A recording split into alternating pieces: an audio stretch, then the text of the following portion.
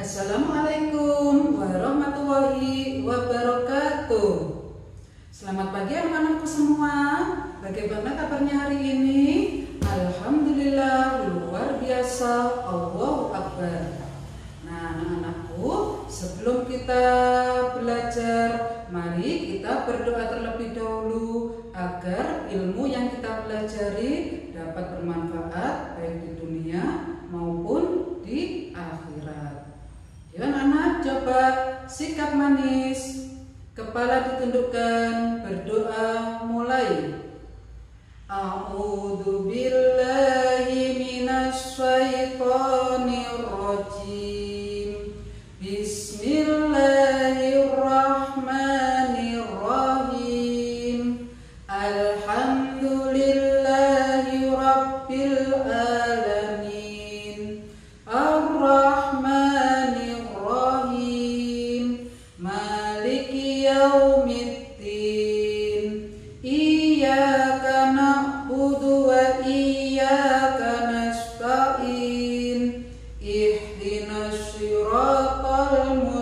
Amen.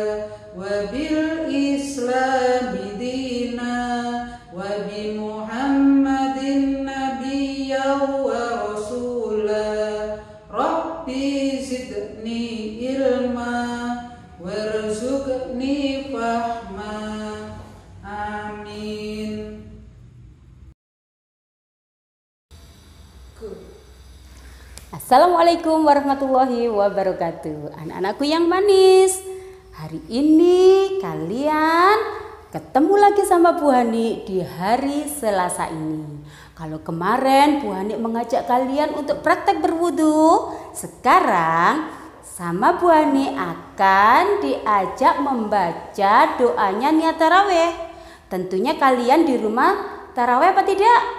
Pastinya terawih kan? Kalau kalian terawih, inilah niatnya. Jangan asal sholat saja, pasti harus ada doanya. Coba didengarkan ayo. Iya, siap ya. Usolli sunnatat tarawihi rok'ataini mustaqbilal kiblati ada amma mumalillahi ta'ala. Allahu Akbar. Ini ya seperti ini ya nak ya. Nah kalian untuk tugas yang ini tidak perlu di video tapi hanya di voice note saja ya. Oke anak-anak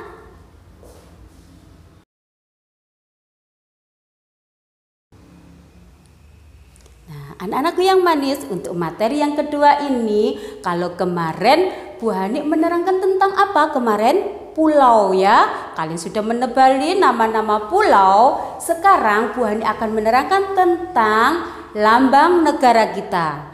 Kalau kita hidup di negara apa kemarin? Indonesia. Nah, kalau kemarin Bu Hani menerangkan tentang negara Indonesia, sekarang menerangkan tentang lambang negara kita. Siapa yang tahu lambang negara kita? Apa ya? Siapa yang tahu? Iya, pinter. Apa? Burung Garuda. Nah, karena lambang burung Garuda, kita juga ada nyanyiannya. Lagu wajib atau salah satunya lagu wajib itu adalah Garuda Pancasila. Ayo coba anak-anak besok kalian menyanyi boleh dengan gaya, boleh dengan apa? Eh dengan bersukaria menyanyi lagu Garuda Pancasila. Dengarkan Bu Hani dulu ya.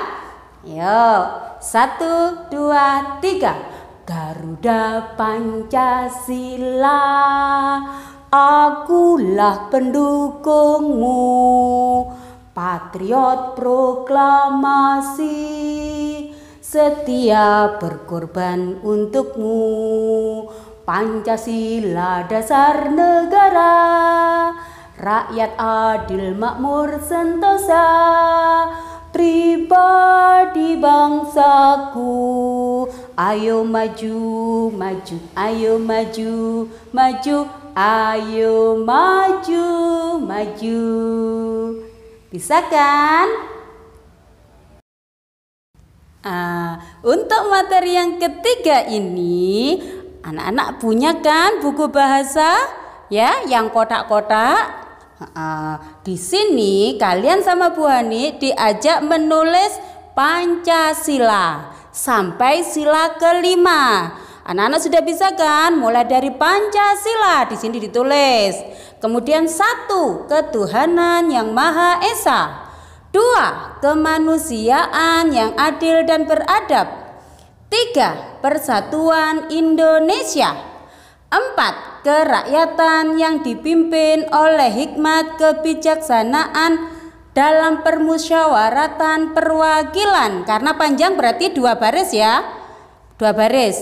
Lima, keadilan sosial bagi seluruh rakyat Indonesia.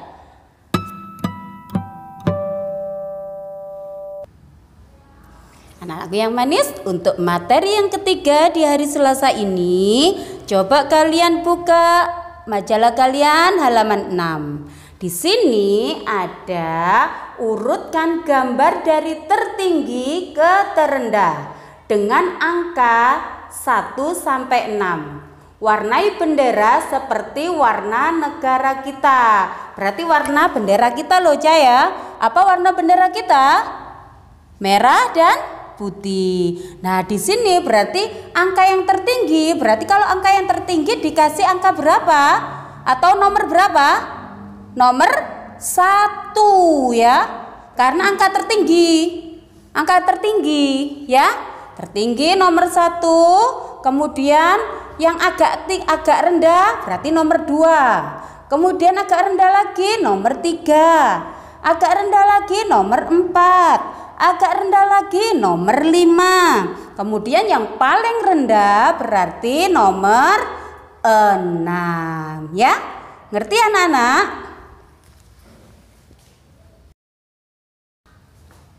Nah, untuk materi kalian hari ini ingat ya, yang pertama apa tadi?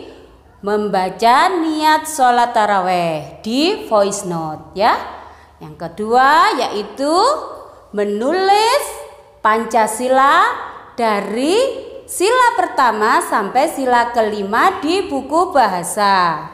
Kemudian apalagi menyanyi lagu Garuda Pancasila dengan di video ya. Boleh dengan gaya secantik mungkin boleh ya. Itu dan materi yang terakhir yaitu di LKS halaman 6 mengurutkan gambar dari yang tertinggi ke yang terendah. Oke anak-anak.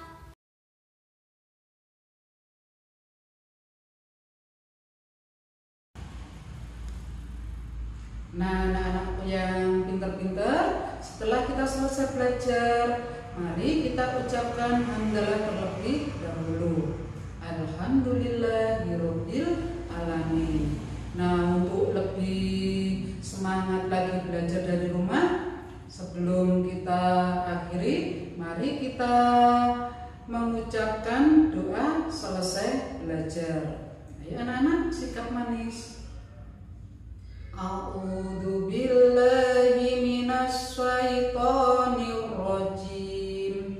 بسم الله الرحمن الرحيم. إن الإنسان لفي خسر إلا الذين آمنوا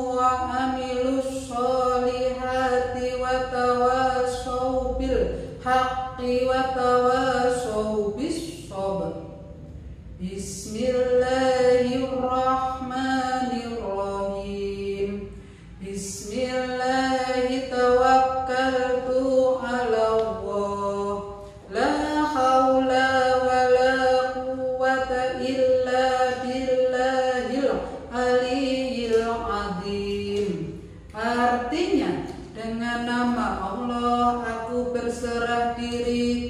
Kepadanya dan tiada daya upaya melainkan dengan pertolongan Allah. Amin. Nah, anak-anakku, jangan lupa tetap semangat untuk